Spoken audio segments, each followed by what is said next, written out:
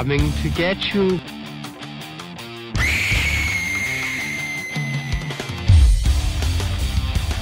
Welcome to the Fear Central podcast. I am Mike, First, Heather. Paul. and we are once again here to uh, enlighten you in what we believe uh, about the horror genre. Yes. So, uh, we thought we'd take this week and do what we're dubbing Forgotten Fright. Uh, so, what that means is we're going to talk about some movies that uh, we feel the the people just don't think about anymore, or discuss, or talk about, or even remember, possibly. Right. So we figured that, and for those of you that are just getting into horror, maybe a younger generation, just learning horror, this would be a good way to learn about some movies that are from possibly from the past that you're like never heard of it. Maybe I'll check it out. Yeah. So um, we'll get started. Paul, you want to kick us off? Sure. Okay. Um, I'm gonna. My first selection is just because, just for the simple fact that there's a certain movie with the same title that has completely overshadowed this movie. I'm picking the movie Frozen. Frozen. Okay. Yeah. So it has one of the stupidest premises ever. Then you're gonna think, how can you even stretch this out for an hour and a half? Because you want to build a snowman? But uh, the movie is from the director of uh, Hatchet, uh, Adam Green. Adam Green. Yeah. Yeah. Uh, it's about three uh, three uh, college age students who end up stuck on a ski lift over the weekend in in the in, uh, the middle of a you know the middle of a snowstorm. Oh. Okay. And- so it's Anna, Elsa, and Olaf. They're, yes, they're stuck up yeah, there. they're yeah they're stuck in there, Oh, and there are wolves and all sorts of other elements they have to they have to deal with. Oh, really? It is a very watchable like survival horror flick. Yeah, I actually haven't had a chance to watch that one. I, I, well, I should say I haven't taken the time to Mm-hmm. watch that one. Uh, but I remember hearing about it first when we uh, went to the Texas Frightmare Weekend. Yeah, Uh, they were giving away the little mini posters and stuff about it, and I just I just haven't taken the time. yeah. Um, seems like it would be really interesting because it seems like it's based really on um, being alone and what being alone can can do to the mind. Yeah, Well, I mean, it, with that with that scenario, obviously they give all sorts of reasons why they get they get missed by the people that are in the ski resort and everything like that. You know, halfway up the mountain, electrics turn off, and like people all leave. Everybody's leaving because of the snowstorm, so they get stuck there and everything. Right. But uh, So the the the bottom line theme is probably abandonment. yeah, Yeah. yeah, and they're you know it gets to it gets to a point that because of the weather and everything like that, and all the elements, they have to they end up having to get off the lift, obviously. Right. and they're getting frostbite and everything. Yeah. So kind of like the thing without the creature. Mm-hmm. Just, And I and I do wonder if they chose if it was a very specific casting choice. One of the uh, one of the pe- uh, people that stuck on the lift is uh, Iceman from X Two. oh, okay. Okay. Yeah, Bobby. Yeah. well, he couldn't he just ice ramp him off there? I mean, I, he he didn't have the powers Oh, for some man. stupid reason. I don't know. what? I mean, ev- that? actors should always be the same character in every movie. Right? They should be. Because we would love to see Rocky as Judge Dredd. He's, hey, hey, yo, I, I'm the law, okay? Who like On the law, okay? that would be hilarious. yeah. So, okay, Frozen. Um, Heather, you got one? I have several actually. Oh, I can't hear you. Where'd you go? Turn my mic off. Oh, I don't know why that. happened. Whoa, I got several. several. Several. Okay, Yeah. Um, so I guess the first one I'm going to go with was is one that I don't think that you have seen, but Paul and I have seen. okay, It's Eyes Without a Face. right. Yeah, no, I haven't watched that one yet. It's a French film, It's old too, isn't it? uh, 1960. Sixty, yeah. Mm-hmm. It is. It's it's great. It's I've, about li- I've listened to the song though. Yeah. it, and that's what the that's what the uh, that's what the movie is. That's where the song is based on. Is Right. that movie, and um, it's about a doctor who's trying to find a new face for his daughter, and so he kid him and this other him and this nurse they kidnap people, these ladies, and hold them captive Right. and cut their faces off, and he sews them onto the his daughter. Yeah. I've seen uh, several several parts of it. I've just never watched it straight through. Yeah, it's really good. It's really good. I mean, it's subtitled, but it was I enjoyed it. It's mainly visual. It's not a whole lot of dialogue. There's not a whole lot of dialogue. It's a lot of Yeah. pretty. I mean, it's black and white, but it's. I really enjoyed it. yeah, Criterion has the rights to it. Yes. do? Distribution. So it's a very gorgeous transfer. Yes. Yeah, Isn't it on uh, HBO Max right now? I believe so. Yeah. Yeah. I believe so. So if you haven't had a chance to check it out, uh, that'd be a good place to Yeah. start. It's a good. If you one. don't want to have to pay to rent it or buy it or whatever. Yeah. Because Paul, you, well, you both are really big into foreign films Yes. compared Yes. to me and Chris. Yes, I like a foreign film. Definitely. Yeah. My problem is I just don't want to spend the time reading them. Well, and a lot of times it's the elevator. It's fine. It'll stop in a minute. Oh. Um, a lot of times with those, some of them are hard to watch, especially if they're really fast. Yeah. And if you're not a proficient reader, Right. then it can get cumbersome to Yeah. try to watch It, it and al- read at the same time. Yeah, because it always seems to me that I end up inadvertently spending more time reading than paying attention to the film, and I end up missing the film and, and what's going on. So, Eyes Without a Face. Excellent. yeah. Okay.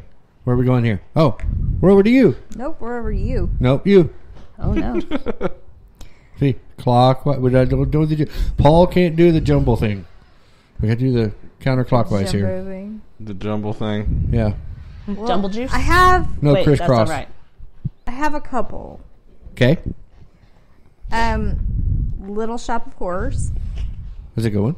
It is a good one. from 1986. Oh, you're going with that one. Rick okay. Moranis? I am because a lot of the people won't know the old black and white one. yeah. Well, that's why we're So- doing this. yeah. So Um, people know. Yeah, it's it's about Seymour, who's a plant. Seymour more butts? Oh my Mm. god! Seymour's not a Seymour's not the plant. No, sorry, Seymour's not sorry, the plant. Feed me. Seymour. Um, Feed me, no, Seymour. Audrey's the plant. Feed me, Seymour. So, uh, Rick Moranis plays Seymour. Sorry, and he pines for his coworker Audrey, played by Ellen Greene. And during a total eclipse, he discovers the plant named Audrey II, which feeds on feeds on human flesh and blood.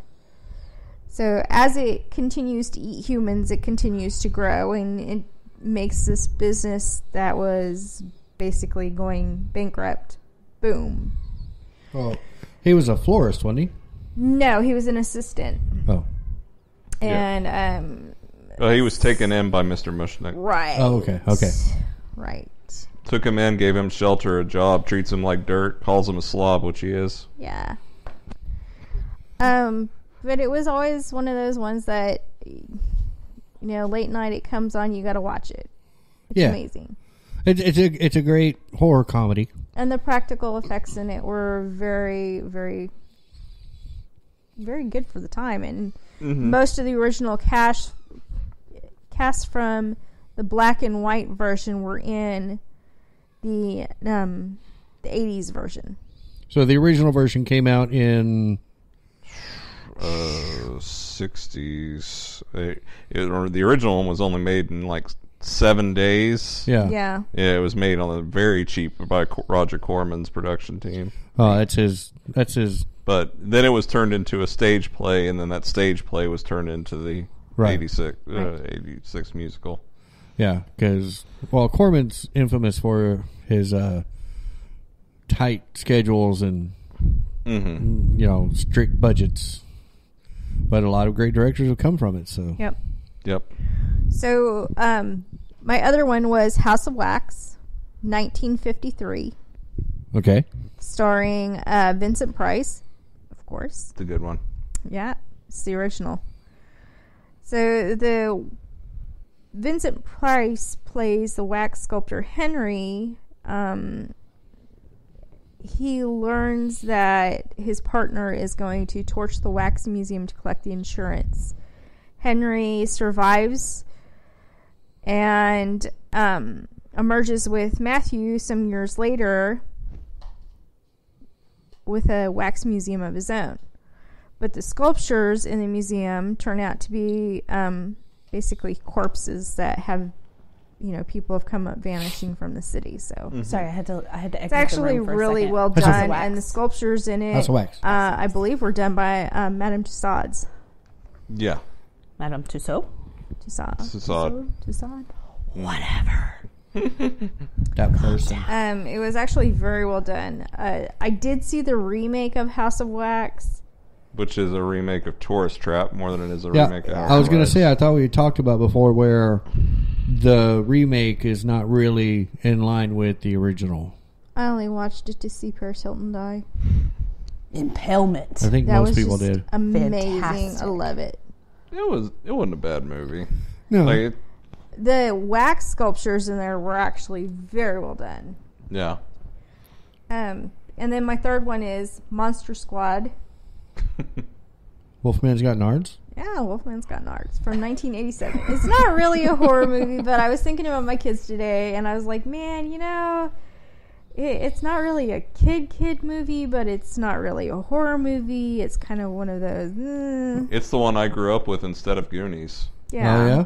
Yeah, I didn't watch Goonies until I was at it's- like 25. It's the equivalent horror version of the Goonies, basically. And I think it falls under the horror canon because it's all based on the traditional monsters. UFO, Universal's monsters. Yeah. yeah. You know, little, Wolfman little and Dracula of and the little bit of the books too. Yeah. yeah. Yeah. But um, yeah, I was I loved it, and I loved how there was always that old German man. You know, just happened to be a random German man in the neighborhood Van Helsing. That's what I was going to say. Mm-hmm. Yeah. that could translate the book. Can you? Can you translate the book? But those were my picks. Okay. okay. Excellent picks. Mm-hmm. All right. I've got a couple myself. I'm going to start with one. Uh, I'm going to start with Event Horizon. Ooh, that's a good one. Uh, if you're into sci-fi and horror, it's a great mix. Um, it's also one of the few horror movies you get where you get some top A-list actors in it because you get uh, Laurence Fishburne. Laurence Fishburne and Jason Isaacs Yeah. in there, and Sam um, Neill. Sam Neill, uh, which you'll probably know from Jurassic Park. Yeah. And what's her name from Nip Tuck is in it too, isn't she? Uh, Kathleen Quin- Quinlan. Yeah. You got Kath, yeah, Kathleen Quinlan. You've got uh, Joely Richardson. That's who I was referring to. Okay.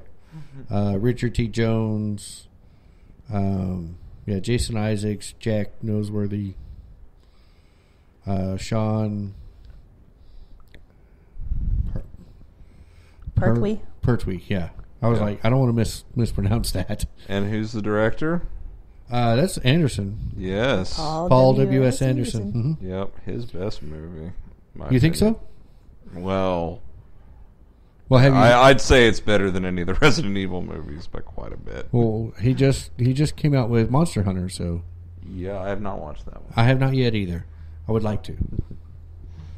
Only because I'm not overly familiar with the game, so I think it'd be a fresh take um, for me. Yeah. Well, there's not really a lot of plot to go with on those games, but Right. uh, no, Event Horizon has got a fairly unique setting. I mean, you know, people point to Alien when they say uh, horror on uh, on uh, in space, but the core concept of uh, Event Horizon's pretty unique. Yeah. Um, so the basis of the film is there's a ship called the Event Horizon spaceship mm-hmm. that has a completely new type of engine that's supposed to fold space time so it can travel almost instantaneously Yep.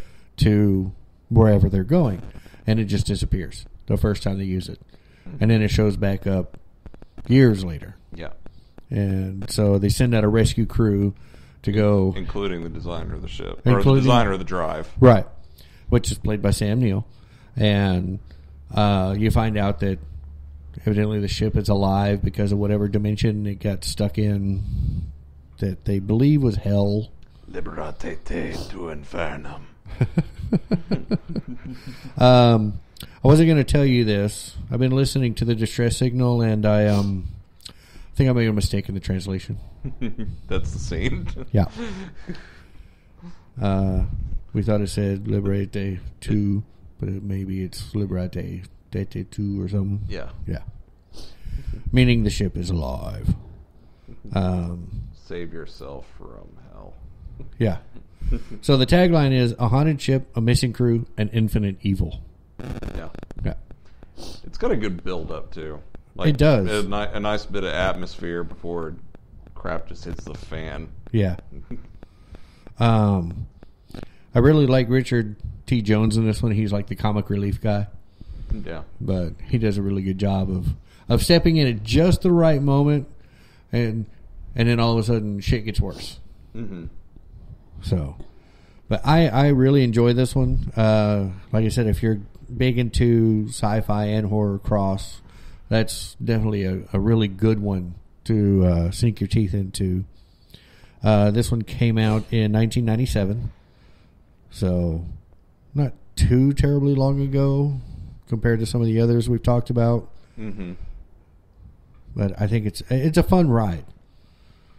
Yeah. There are parts where it takes itself a little too seriously, and then there's parts where it's not super serious. Fishburne's great. Absolutely. This is a tomb. so that that's my first one. Um, the initial cut of the film ran for 130 minutes and was quite graphically violent, so much so that both test audiences and the studio balked at the finished product. So evidently, they had to cut a lot out in order for it to be uh, what Paramount would believe worth watching. Kind of now I want to see the director's cut.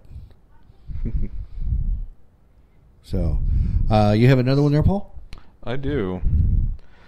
Uh, trying to, I'm trying to. I've actually got like several lined up here, and I'm just trying to decide whether I want to go with a weird one or not.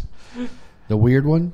Yeah, I honestly almost want to do this. Out of, I honestly almost want to bring this one up just out of uh, nostalgia, because whenever uh, whenever you're the horror guy among your group of friends, Uh huh. you tend to get invited over. Like, oh, it's Halloween. We'll have him bring movies to uh, to show or whatever. Right. And I had a I had a double feature. The first film was Nightbreed, and the second one was this uh, it's a Japanese movie from 2004 named Marebito. And the consensus from all of the college guys that were at this gathering who I'd never met was that I am freaking weird. And I just show them weird movies that they're stupid. yeah. Weird movies. yes. Okay. So, so Marebito uh, stars a director known for disturbing visuals in his own right, uh, Shinya Tsukamoto. Uh huh.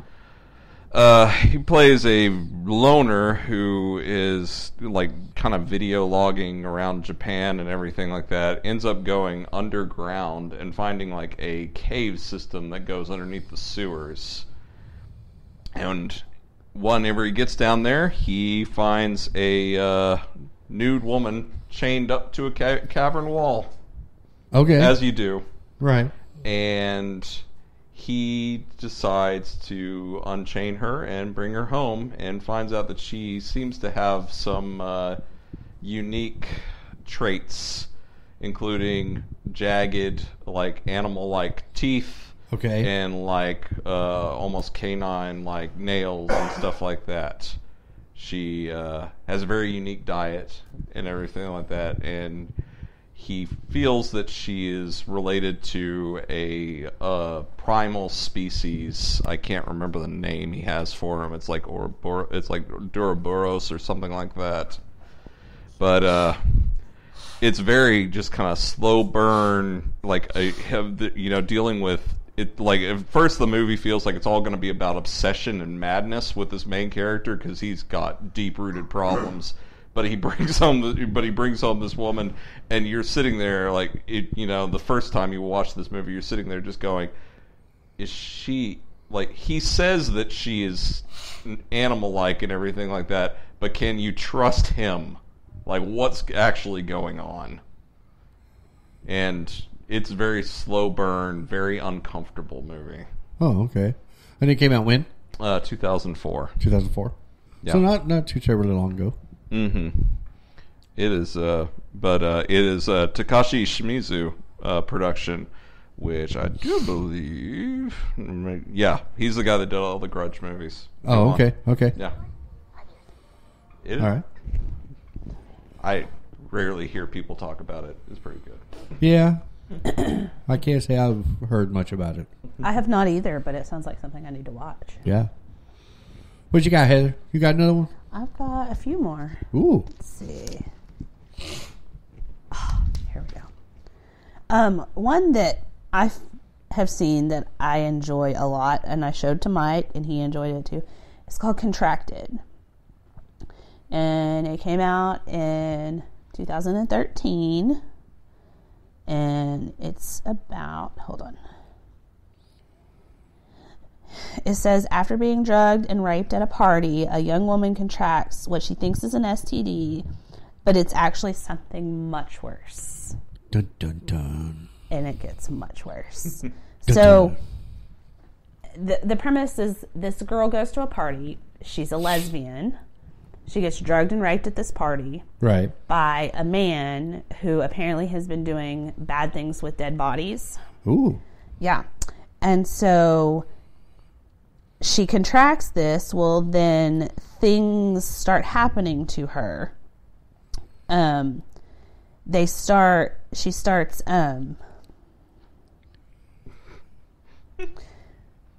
um, You the look on your face whenever you like whenever you pause there. She starts, and you're like head to scratch. it's like a cringe. Yeah, because like her hair starts to fall out, and then her fingernails fall. Her fingernails fall off, and she gets this weird thing with her eye, and she starts bleeding in like random places. Like her eyes bleed and her mouth. and It's it's just gross, but not not in a bad way. Body Right. horror really does it for you. It does. Yeah. It does. But so so this she is dating this lady and she finds out that she's had sex with a man, so she breaks up with her and she goes moves back home with her mom. And her mom thinks she's on drugs. yeah. I mean, she's not on drugs, she's just Decaying. decaying from the mm-hmm. inside out. And it it's a strong one. I mean, it's It, it's, it's, a good one. It's intense. it is intense. There's a lot of very intense moments. yeah. Does, it- does this? How does this compare with the? Uh, do you ever watch Afflicted? I, That's the one about the guys. Yeah. Kind of found footage. They went to Europe on vacation, And he got one the, of and he gets the STD that they right. treat like. one of them goes to the red light I thought district that and comes was back. the second one.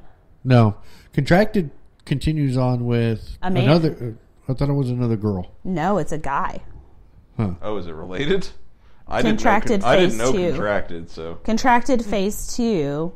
Um, it's this guy. He searches for the cure. Oh right, right, right, right. right. Um, that overtook Samantha before it consumes him and the entire world.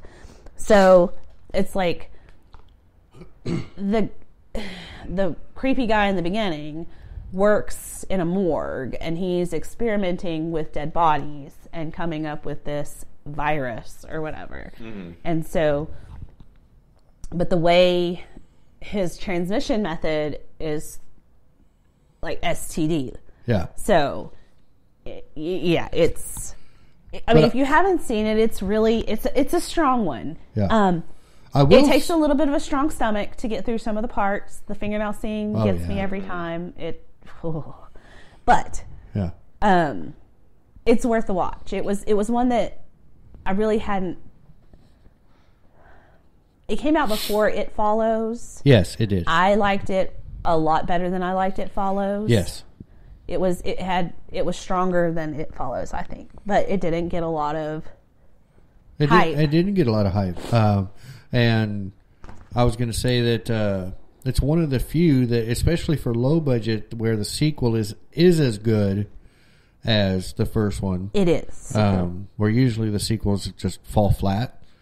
This one was just it was just right up there, equal with it, and it kept you intrigued and okay, what's next, and and it didn't really, the storyline did not drop like most sequels do when you get to that yeah, point. yeah, it did not. It was it was good through both of them. Yeah. So, but yes, I have seen Afflicted. Now that you talk about that, Yeah. it's a little bit different, um, but it's still Yeah, where Afflicted is more found footage group. this is like This is the first. This the first one focuses just on her yeah and her her transitioning through. the virus. What's going on with yeah. it. Okay.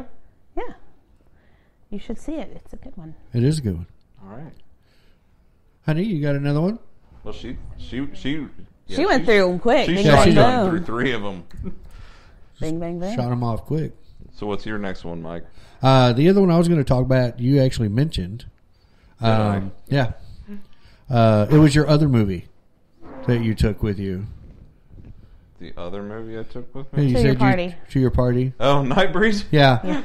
um, it's actually one of my favorite films. Uh, of course, I'm a big Clive Barker fan anyway. Yeah.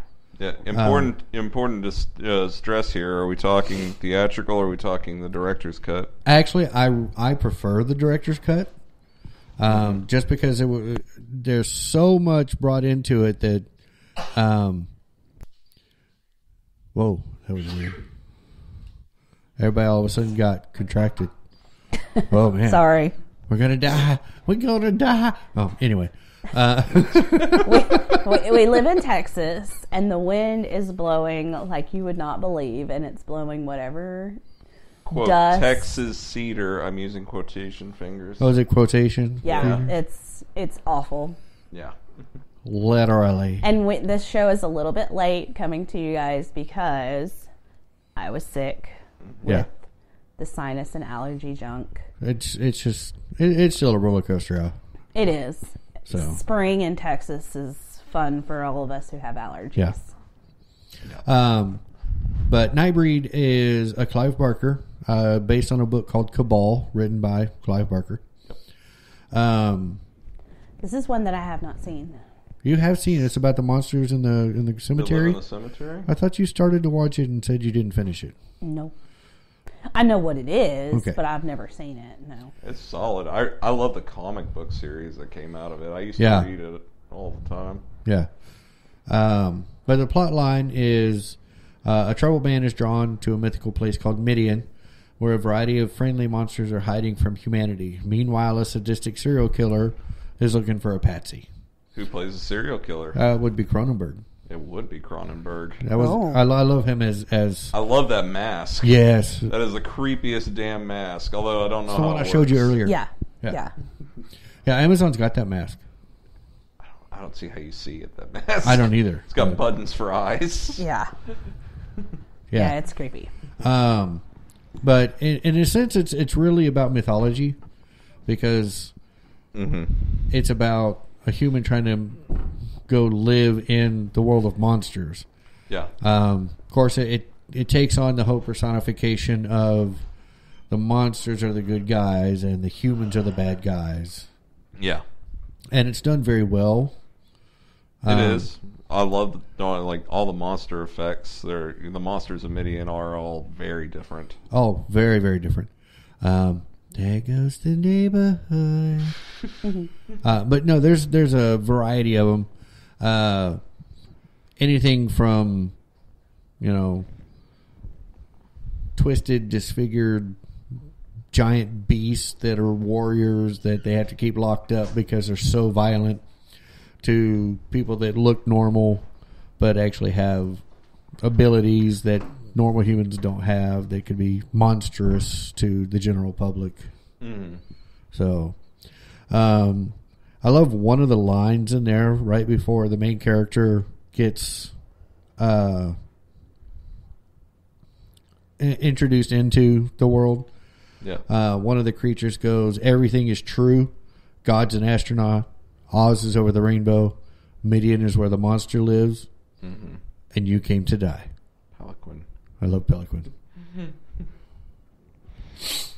uh, but yeah, it's just one of my. I, I really fell for it because of that whole personification change. Because you know, if you think about it in all reality, as human, we can be really, really demented and, and vicious and brutal and selfish, hmm and I think this film does a good job of portraying those qualities in humanity that really we should have already, you know, kind of let go of from our lizard brain or whatever. uh, I don't know. I just I just thoroughly enjoy. I I love the movie so much that in high school I had a band called Midian for a little while. Yeah. So, but it's a really great film. Came out in 1990, I believe. Yeah. Um, in 2004 is when they suspected, or it was announced that there was going to be a director's cut, and then all of a sudden it was we can't find the archival footage in the the archives in Hollywood, and then everybody was like, "What the hell?" And all of a sudden it came out that there was a cabal cut, and then everybody it, it's got a completely different ending. There's 40 minutes of footage added to the film that completely changes the way Clive actually wanted the film to be compared to what came out theatrically. hmm You should watch it. I should. Yeah. Sounds like it's right up my alley. Yeah, because it came out right after he did Hellraiser. His Hellraiser came out in 87, 88, 89, somewhere in there. Uh, I can't remember. 87. 87. Uh, it's got Craig Sheffer in it, hmm and it's got uh, Doug Bradley, which most people don't know if you've ever uh-huh. watched. If you know who Pinhead is, that's Doug Bradley. Mm-hmm. And most people don't realize he was a Nightbreed. Yeah, he was a Nightbreed. Um, It's got a very uh, bombastic uh, Danny Elfman score Oh, going yeah. on too. oh yeah, I love that theme. We didn't talk about that one in that show, did we? I played it actually Oh, that's right. because you guessed it for one of the uh, you guessed it for one of them, and then afterwards I played it. I actually played Yeah. the Midian theme whenever he first goes underground. Oh yeah, yeah, yeah, yeah, yeah. Um. So yeah, Nightbreed. I love it. You should check it out. Uh, if you're an avid reader, Cabal is an is an amazing book. There's so much more. It's it's not even a huge novel hmm like some of the others. It's like it's probably half the size of Great and Secret Show or uh, Sacrament. yeah, So but it's definitely got a little bit of the of the fantasy and mythology going on with it. oh yeah, If that if that's what you're into. Yes. So, uh, you got another one? I do. Okay. This movie right here is. Uh, I might I might double book I might double book these for my last ones. Okay. Uh, the two movies that got me onto Shudder in the first place, because I couldn't find them on disc at the time. Right. First one is The Taking of Deborah Logan. Oh, I love that one. I have not seen That that, is- one all the way through yet. You need to watch it all the way through. It is a rough one. It is a rough one. So the movie uh, the movie centers around a grad student group who is chronicling a uh, woman with uh, Alzheimer's losing her or advanced set Alzheimer's losing her faculties. You know they're trying. It's sort of they're trying to give like a compassionate study of uh, what it's like for someone who is uh, losing all their memory and their kind of their sense of self and Right. everything like that. But as they're documenting her, they're noticing a whole lot of unnerving things going on beneath the surface and a whole lot of kind of secrets that seem to be going on with the family. okay. It it's it, it, it like it it's 90 minutes kind of zoom it zooms by for me. I've seen it a couple times I have too and yeah, it gets to the end. Like it gets, it's like slow burn until it gets to the end, and then there's a whole lot that happens in the last ten or fifteen minutes. There is Okay, a so- whole lot. so that's why. 'cause Yeah. I got about, I- I'd say about three quarters of the way through it. mm-hmm. And it, I, I didn't like stop it because it was boring or anything. I think I ended up having to leave to go somewhere. Mhm. It was like, I'll come back to it. And I was talking to Heather about it one time. I was like, it, it, it was. It didn't sound like there was a whole lot to it. And she goes, "How far'd you get?" I was like, "About three quarters." She goes, "Oh, you haven't got to there yet." Yeah. Yeah. Yeah, there's some great there's some great shots and effects. Mm-hmm. and I really I love all the performances, especially uh, uh, Jill Larson, who plays uh, the main uh, play, makes the main character. Yeah. Okay. Her daughter is also uh, oh the sister from Mad About You, Oh, which I hadn't seen her in anything in a long time. You know, uh, Anne Ramsay, and she she's pretty good too. Mm-hmm. And this one came out when? Uh, well, it had some licensing issues. Oh, it did. It was made in 2014. Then it kind of went away, and then it got brought back through Oh. streaming. Gotcha. It Okay. didn't. Co- it didn't come to disc until 2018 or 19. Oh, Yeah. okay. Yeah.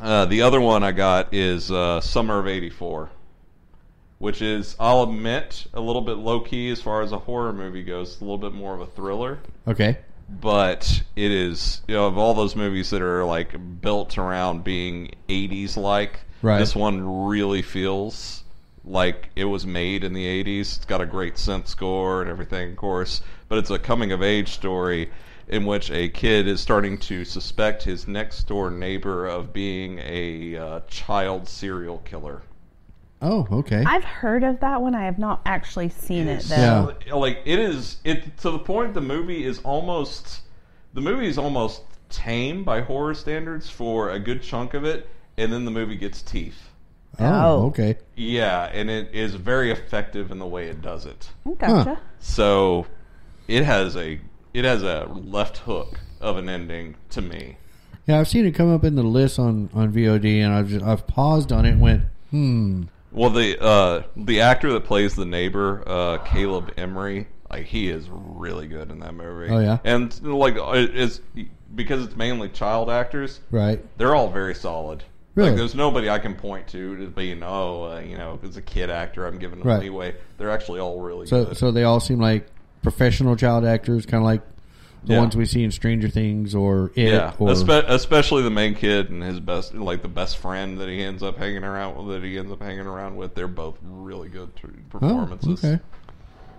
Um, but yeah, if you like coming of age '80s films that are like that are a bit darker and everything like that, it's got Right. a little bit of that Hitchcock, what's going on behind the closed curtains type thing going on. Right, right. Yeah. But if you got Shudder, no excuses. W- Check out those two. Yeah. Okay. All right, you got another? I do. I know you you showed me like I have several. a lot. I, I have let's see, one, two, three, four, five, six, seven, eight. I went all in. Overachiever. Right? Well, and several of these are really good movies that I really enjoyed. That I don't know that a lot of people, a lot of anybody else has seen. right. Like I know, like okay, so one of them on my list is 1408 That's with John film. Cusack and Samuel L. Jackson. It's a really good one. Uh-huh. It has the best version of the Carpenter song. It's only just Oh, begun. I can't hear it any other way now. I can't either. I'll be I walking either. through the store, it comes on, I'm like, where's I that have- alarm clock? Where's the alarm clock? I have watched that movie about a dozen times, and I've read the story that it's based on about four or five times. yeah, it's really It- good. It's Possibly my favorite King adaptation. it's solid. It is a good, solid. King Even though I'll just flat out say it, no version of that story has a good ending. None of them. The Oh, no. story doesn't have a good ending, No. but but the ride is so good. yeah, to 'cause- get there, to Yeah. get to the ending, it it just there's no way to have a happy ending to that. Well, yeah. And I would say it would be a great a great VOD experience. It definitely but would. honestly, I think you need to get it on disc because there are at least two endings. there are yes, two. there and are two. Both endings are just like what? Um, I like one more than the other. Yeah. Um, Neither one of them are the ending of the story. either. no, they're not. Um, my favorite is the car ending. Okay. That's my favorite. Right. And That's the director's cut. yes, Director's cut ending. Yeah, that's my favorite. Okay. Now the other one is great. Because I thought the wrong. one in the new apartment was the director's cut ending. No, No, that's okay. the other one. That's the original. Yeah, but I mean, I enjoyed that one a lot. I mean, Cusack is great. Oh, he's amazing. Samuel L. Jackson is great. There's not a lot of other characters in this movie. You got Maureen McCormick. Yeah. But I mean, but there's very few actors because it's mostly The the girl that plays his daughter is devastating. Oh yeah, yes, yeah. she does an amazing she- job. That is, like- she's a champ of an actor. oh yeah. Yeah, because the the whole hook of the movie is that he's a cynical writer who is Debunks. trying, yeah, debunks haunted uh, haunted houses. He first got into it because he wanted to believe in the afterlife after losing his seven or eight year old daughter. Right. Yes. And wanted to just like a lot of the ones that, that are like this. It, eh, he wants to see if there's a way he can reconnect with Yeah. his his lost child. No matter how many times I've seen that movie, like I'll just flat out admit it. There, there, there, I've seen that movie so many times, but there is a scene in that movie that hits me in the feels super hard, Yeah. gut punch. oh, there's a Yep. few actually. There's a few, but I think I know what you're. Ta- I know- think I know what you're talking Oh, about. and the dad's Len Cariou too. Oh yeah. yeah, Yeah, But you know, it, it's it's just a good one that a lot of that. I mean, because it came out in 2007, right. and so it's not it's not a super old movie No. by any means, but I don't think it got the hype that some of the other King act- adaptations Oh, yeah, got. You know, it and um, Pet Sematary, and you know, King Right. has has kind of a name recognition, but Okay. it's not one that's not recognized as mm-hmm. And, it- and it's kind of too new to go ahead and remake now. If you were going to, Oh, but yeah, I mean, I why would wouldn't you touch want it. to? No, Why would you want to? It is not. There some on these lists that I see could totally be redone mm-hmm. Yeah, and and actually be if they were done well would be better than the original. right. 1408 is not one of them. No, You're not going to find you're not going to find anybody who can bring that character um what is it? Ennis is his last name Ennis in the movie? Um, Cusack's character. Yeah, um, Yeah. Mike Enslin. Insulin. Enslin. Insulin. You're not going to find somebody who can play that character like John Cusack did. Oh no, not at it's all. It's not. No, I mean there are characters you could you could, you know, some of the minor characters. You're like, okay, that could be whoever. Oh, and I whoever. forgot Tony Shalhoub's in this movie That's too. right. Yep, I forgot. plays his agent. agent, Yes, he does. publisher, or whatever. Yeah, And then another one, going back to being foreign, um, is The Ritual. Do you Yeah. remember that one, Paul? It's about the four friends who decide to go hiking in, in Sweden, and one of the friends gets hurt, and then they go through this like woods Yeah. to get help. And then they end up in this abandoned house, and some creepy shit comes down, and there's like a torrential rainfall, and there's like yeah. Yeah, it's a whole lot of crazy. I ended up watching it after you Yes. suggested it. And it was good. was good? It was good. But it was one that I don't know. Hold on, let's see. It came out in 2017. Um, but I think it was a direct to uh, It was a directed VOD. direct a VOD. Yeah, and so it was it was a really good one. It's got a solid cast and a solid premise one that seems like it's based in folklore yeah, it's very much based in folklore at the end and you know i won't spoil anything on that one because that's one that i know a lot of people have not seen yeah. but it's a really good one um so that one was that one was a fun one another one that we talked about mike and i talked about um that doesn't get a lot of talk about because it was one of those ifc after dark films Right, right. was um the autopsy of jane doe Oh, I love that film. yeah I think I watched it twice the in a row. autopsy The- of jane yeah. that was amazing I think I watched it, and then later we we all got together and we watched it again. So I like watched it like two or three times in one day. Yeah. It, uh, to me, it was that good. It's just a little treasure that you don't expect. You're just like, okay, it's going to be kind of this, kind of this, Got kind of good this. build. It's got a very good build, and then all of a sudden you're like, whoa, whoa what, the hell What the fuck is that? yeah and it was one of those ones where we were looking for something to watch for um for our group Yeah. on a on a on a family night, and I had seen it, and Mike had seen it. Well, I rented it or Yeah, something. I can't like that, remember. yeah. It was something, and I rented it, and we were like, "Oh, okay. Well, we'll watch this one because there's been a lot of them that we've like paid to watch that we probably shouldn't have." Yeah. But Well, I um, think this one was also like a still in theaters at the time when we rented it. I think it was. I think it was. Um, it Whoa. Um, Vicious. it came out in 2016. Um, it's got uh, Brian Cox, Emile Hirsch. Um, it, it just uh, and it's so great because it's like really one main location and like three, four characters. In a mortuary. It, An it happens in a underground one. Yeah, Yeah. you know, it's it's a basement mortuary in a small community that they don't decided not to have a big building and turn their basement into it. yes. So the cops bring the bodies to their house and they just do it in the basement. Yeah. Yeah. but Brian uh, Brian Cox is always solid. Yeah, Yes. yeah. He's very good in that. You know, I mean, the I mean, there's one, two, three, four, five, six, seven, eight, nine. There's ten members of the cast. Ten. Was there ten? Ten. Yeah. Yeah. All I all I can remember is Brian Cox, Emile Hirsch, and the girlfriend. Yeah. Yeah, Ophelia Lovibond. And then the one on the table.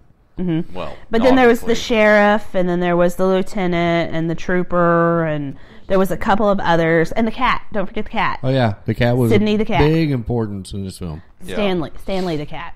Yeah. Stanley. Um, yeah. I, w- I w- I would love to know how much she got paid to just lay there the whole film. Right? Be like, Well, can you lay down? uh, Great audition. You're hired. Right? I don't know, but it was it was a good one that that not I know that not a lot of people have seen, and it's No. really worth a watch. Oh, very, very, much very so. much so. It is it is by far one of the best Sunday night movies we've seen, Oh yeah, most definitely. and we've seen a lot. Oh yeah, we watch them quite a bit. Yes. Because usually we get together, even when we're not doing the podcast, we just all get together and have a have a meal and what are we going to watch? And Yep. we pick something and we all watch it and go, hmm. you know and sometimes it's it's funny because we'll each take a pick like like you know chris will pick something and we'll watch it and michael picks something or i'm like hey have you guys seen this and we'll watch it i think rupture was one that Yeah. we watched Rupture was one. um which Uh, wasn't a great one Uh, Camera Obscura was one. camera obscura it, it wasn't great i mean it wasn't terrible but you know we've we've saw we've seen some some uh What the hell were we thinking? Yeah. But We've seen All in all, doozies. very, that's very how- similar title. Uh, what was that? The Possession of Hannah Grace. yes. Yeah, we, we did that one. Yeah.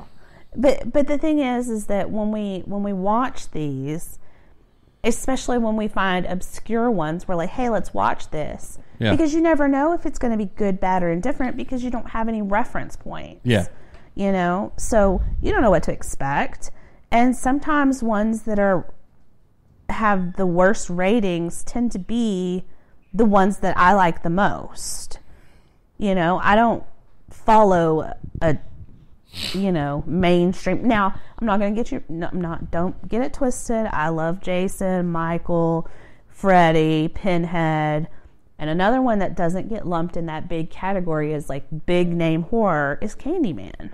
Which is odd because it is very odd because Tony Todd is amazing. Oh, he's great. In that movie. Absolutely amazing. And for those of you who don't know, it's about a white woman who is a grad student Yeah. and she decides to do some research on uh, projects, well, she's doing it on. Er, she's doing it on urban legends. urban legends. And, and- the, her central thesis is on the Candyman, which is based around the Cabrini Green Cab- area yes. Chicago. which is a you know housing project And so she is a very white woman going into a very black neighborhood and dealing with this predominantly black myth. Mm-hmm. And, you know, he's like the boogeyman. And it's it's solid. It's very solid. Yeah. It's Um, it also like also the majority of all that stuff gets setting it in Chicago, putting it around the race relations that go on within that city specifically or Right. whatever. Oh, absolutely None of that was related to the Clive Barker story it's based on. No. The No. hidden. Like it was all adapted in there. Like Clive Barker, you know, uh, was, was presented the script and he just gave it a thumbs up. He's like, "Okay, that you Yeah. know, did did a, did a good job. Did made it a completely your own thing." Yeah. I mean, and it's and they have have they released the new No, not yet. Okay. So before I can think the pandemic hit, they were Jordan Peele's doing Jordan Yeah, Peele was Peele. redoing like Tony a Todd is reboot. attached. Yes, Tony Todd was attached. I think the last I heard, he's going to reprise. Initially, he wasn't, and I think he is now going to reprise. Yeah. Um so but they're going to they're going to revamp it for like today. The great thing is, is they're going back and doing it again in Cabrini Green, where the original was shot. Yeah. Yeah. So- I love the sequel, but the sequel completely retcons it and puts it in New Orleans. Yeah, um, that Like, was the I'm not second gonna one, pretend right? the sequel. I'm not gonna pretend the sequel's as good, but I'm a sucker for New Orleans in, Yeah. in as a setting, and it really like it's a very romanticized horror story. On that, Yes. Very. on that. Um, so much so, if you go back and listen to the episode we did on music and themes, one of the first ones you play, I think it's the first one you play in the game, was Candyman's Helen's, Mm. Helen's theme. theme. Yeah. From- And it's, Yeah. it's just Yeah. beautiful and melodic, and you Fill you it would listen to it, and if you were listen to it outside of the film, you're like, "Oh, that's quite beautiful." Yeah. Oh, it- it's a horror movie theme. Yeah. yeah. So, got people walking around in here. What's up?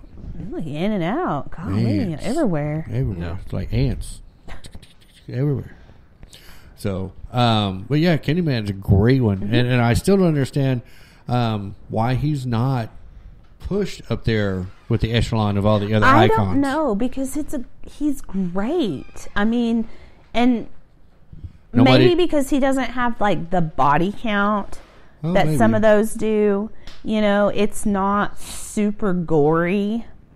Yeah. you know, I there's there- not a there are lot of- points though. There are there are some, He's got a hook for a hand and splits you from groin to gullet. So well, yes, but it's not as it's not as slasher in your face as like you know. Yeah, because there's like three or four kills in the first movie, and he's, you know, my, Jason's got like fifteen. the point of the story is, uh, and what might also be doing it is the point of the story ends up being about empathy.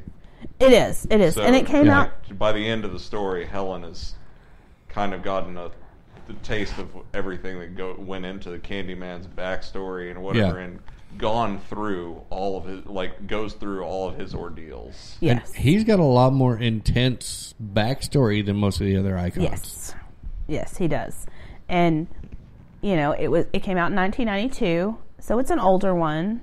You know, it definitely has the 90s feel about it. Yeah. and but it's it's a solid movie. It's solid. Yeah.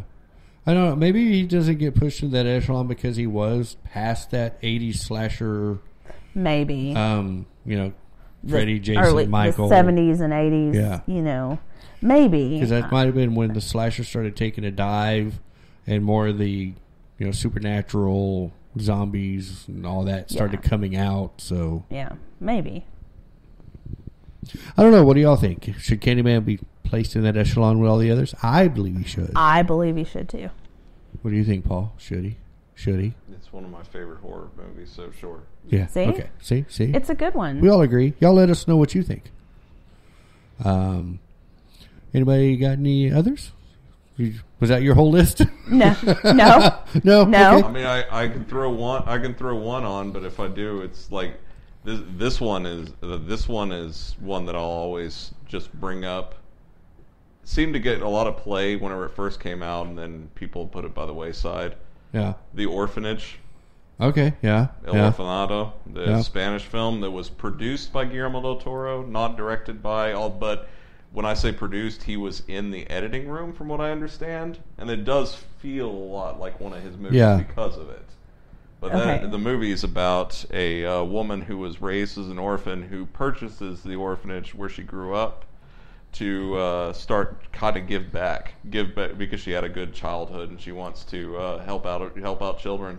But on an, the open house weekend, whenever they're reopening it, her son goes missing, and she starts getting communications from spirits from the other side, like starting to see phantom children. Oh, okay. I've only seen that one time, and it's been, I guess, probably when it came out. It has got a it's got a very solid ending. It is. It does. It I does. I almost rate it not even as a horror movie, but as a movie, I rate it nearly five stars. It's a good one. It's definitely a good one. Is that the one with the cover with the girl with the um, braided? She's kind of staring in a hallway, kind of looking back, and there's like the the main image you usually have is the kid with like a burlap sack on his head, who's Okay. like hanging around the orphanage. May not be the one I'm thinking of then. It's got a the whole tale relates to uh, they keep citing uh, Peter Pan Yeah. and Okay. Lost the Lost Boys. Yes. And they it is a very emotional like allegory. It definitely is. Definitely is. Um, one that we like to talk about here at the house that everyone here seems to enjoy that does not get a lot of, of talk about is 13 Ghosts. Love that movie. I love that movie. Like, absolutely love that movie. Um, it's. Oh, Hold on. It is a remake, isn't it? Is it not? Yes. That's what I thought. 'Cause the Yeah, it's- It's a original- William Castle. The original was great. I happen to enjoy the remake on this one. Yeah. Um, it's got Tony Shalhoub in it Yeah. and uh, Shannon Elizabeth Matthew Lillard, and Matthew Lillard Uh-huh. F. and Murray Abraham. F. Murray Abraham. Yeah, and, it, it, I mean, it was it's, another big budget It's a dark, it at. is one of the Dark Castle films. Yeah. Yes, it was. It was great. It's about a man who's very rich, and he is a collector of unique things, and he dies and leaves his house and his fortune to his nephew and family. Estranged. estranged. Um, but when they, while they're inside this crazy house, they realize they're not alone. Apparently, the uncle has been collecting ghosts in this glass house that encases them in spells. Rich people are weird. I know, I know. Um, but they have that the house has twelve ghosts, but to in, to harness the powers of this the ritual of this the 12, 13 ghosts, they had to have um oh what did they call what was her character um the wife Right, right. um, so Tony Shalhoub's wife, she dies Oh. in a fire. Wasn't the tortured The soul? Tor- no, it wasn't the torture. What was she? Oh my gosh, my brain is. I've completely. Yeah, they've all got nicknames. yeah, The withered lover. that's it. She was the withered, which made her the thirteenth ghost, and so it was going to unleash the power of this house and and all of this. Well, so the man and his children are in this house, and they're trying to, you know, get away from the ghost, and it's it's great. I mean, the ghosts themselves are fantastic. Yeah, it was one of the films when Castle did his, the original version. He had, you know, he always had his gimmicks for the theaters. Yes, And in this one, he gave you a pair of glasses that you had to put on so you could see the ghosts yes, um, when they were, were to appear. that would have been amazing. I mean, can you imagine what it would be just to have one of those to hang on the wall? in I a know, frame? right? That would be, That'd be great. awesome. But it came out in 2001. You know, Wow, was it that long ago? It was that long ago, yeah. But I enjoyed that one a lot. Yeah, it's one of my favorites. Um, because I think we talked about it a little bit back when we did the what could be f- uh, episode, mm-hmm. and that was one Yep. of the ones where I was like, we could do an episode of per ghost for a backstory of each one Oh yeah, and how they got there. I think it would be a great idea. you could totally, totally do that. Anybody want to do that? My idea. I get to direct it. right?